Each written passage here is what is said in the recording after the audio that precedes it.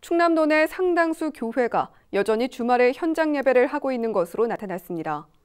충남도는 지난 5일 도내 교회 3,148곳 가운데 절반에 가까운 1,532곳에서 현장 예배를 진행했다고 밝혔습니다.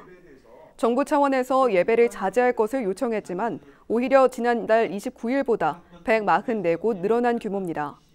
이 가운데 73곳은 음식 제공, 출입 명단 관리 미흡, 마스크 착용 불량, 체온 미측정 등 방역 지침을 위반한 것으로 확인됐습니다.